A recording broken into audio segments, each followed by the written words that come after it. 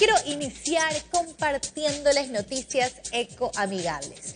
Laboratorios Vago contribuyó a la reforestación del Parque Metropolitano Equinoccial de Quito con la siembra de plantas endémicas. La actividad se enmarca en la campaña Siembra de Árboles que impulsa la empresa.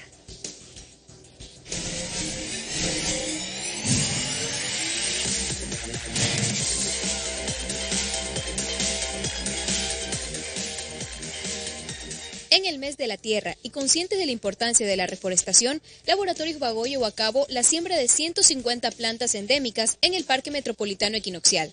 La actividad contó con la participación de 40 voluntarios de la institución y el apoyo de la Asociación de Scouts del Ecuador.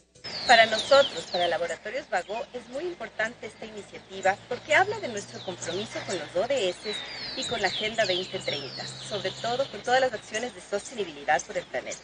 Para nosotros es importante además porque este es el año de aniversario de los 30 años de Laboratorios Vago. La siembra de plantas fue realizada en este parque porque este constituye un pulmón importante para Quito. También se alinea al programa Carbono Cero del Ministerio del Ambiente, del que Vago es miembro desde el 2021. Nosotros somos una empresa que cumple un rol integral en el bienestar, en la salud y en la vida de la población.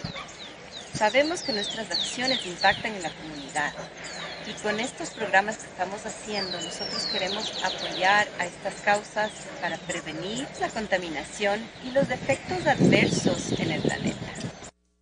La empresa internamente también trabaja con una orientación clara hacia la sostenibilidad con la campaña Juntos Cuidamos Nuestro Mundo, enfocada en reducir el impacto al medio ambiente mediante la reducción de costos en movilidad y electricidad, así como el adecuado procesamiento de desechos.